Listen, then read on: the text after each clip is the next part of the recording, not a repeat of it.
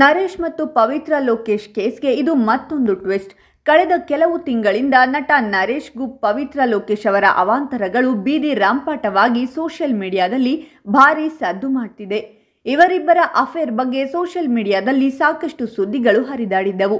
ಆದರೆ ಈ ಜೋಡಿ ಇದೀಗ ಎಲ್ಲವನ್ನೂ ಬದಿಗಿಟ್ಟು ಮದುವೆಯಾಗಿದ್ದಾರೆ.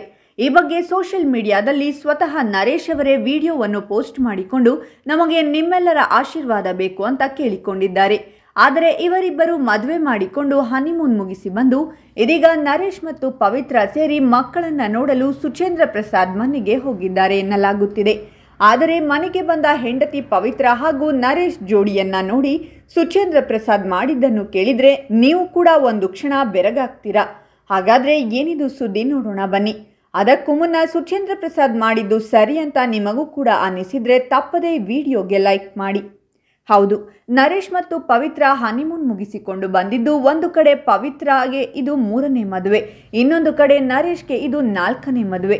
ಇನ್ನು ಮಕ್ಕಳನ್ನು ನೋಡಲೇಬೇಕೆಂದು ಸುಚೇಂದ್ರ ಪ್ರಸಾದ್ ಮನೆಗೆ ಹೋದ ಪವಿತ್ರ ಮತ್ತು ನರೇಶ್ಗೆ ಇವರನ್ನು ನೋಡಿ ಸುಚೇಂದ್ರ ಪ್ರಸಾದ್ ಕೆಂಡಾಮಂಡಲವಾಗಿದ್ದಾರೆ. ಯಾಕೆ ಬಂದರೆ ಇಲ್ಲಿಗೆ? ನಮ್ಮ ಮನೆಯನ್ನು ಅಪವಿತ್ರ ಮಾಡಬೇಡಿ. ನಿನ್ನ ನೆರಳು ಸಹಿತ ನನ್ನ ಮಕ್ಕಳ ಮೇಲೆ ಬೀಳಬಾರ್ದು.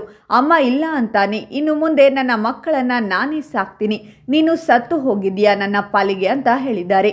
ಆದರೆ ಪವಿತ್ರ, ಒಂದು ಸಾರಿ ನನ್ನ ಮಕ್ಕಳನ್ನು ನೋಡಲು ಬಿಡಿ. ಅವರನ್ನು ನನ್ನ ಮಕ್ಕಳು ಅಂತ ಸಾಕ್ತೀನಿ. ಕೊಡಿ ಅಂತ ಕೇಳಿದ್ದಾಳೆ. ಆದರೆ ಎಷ್ಟೇ ಅಂಗಲಾಚಿದರೂ ಕೂಡ ಅದಕ್ಕೆ ಸುಚೇಂದ್ರ ಪ್ರಸಾದ್ ನಿನ್ನಂತ ನಾಚಿಕೆ ಬಿಟ್ಟವಳಿಗೆ ಕೊಡುವುದಿಲ್ಲ. ಕೂಲಿನಾಲಿಯಾದರೂ ಮಾಡಿ ನನ್ನ ಮಕ್ಕಳನ್ನ ನಾನೇ ಸಾಕುತ್ತೇನೆ ಅಂತ ಹೇಳಿ ಇಬ್ಬರಿಗೂ ಚೀಮಾರಿ ಹಾಕಿ ಕಳುಹಿಸಿದ್ದಾರೆ. ಏನೇ ಆಗಲಿ, ಇಬ್ಬರ ಜಗಳದಲ್ಲಿ ಮೂರನೆಯವನಿಗೆ ಲಾಭ ಎನ್ನುವ ಹಾಗೆ ಇದರಲ್ಲಿ ನರೇಶ್ಗೆ ತುಂಬ ಲಾಭವಾಗ್ತಾ ಇದೆ. ಅಷ್ಟೇ ಅಲ್ಲದೆ ಇಬ್ಬರ ಜಗಳದಲ್ಲಿ ಮಕ್ಕಳು ಅನಾಥವಾಗ್ತಿದ್ದಾರೆ. ಈ ಬಗ್ಗೆ ನೀವೇನಂತೀರಾ? ತಪ್ಪದೆ ನಿಮ್ಮ ಅನಿಸಿಕೆಗಳನ್ನು ಕಾಮೆಂಟ್ ಮಾಡಿ ತಿಳಿಸಿ.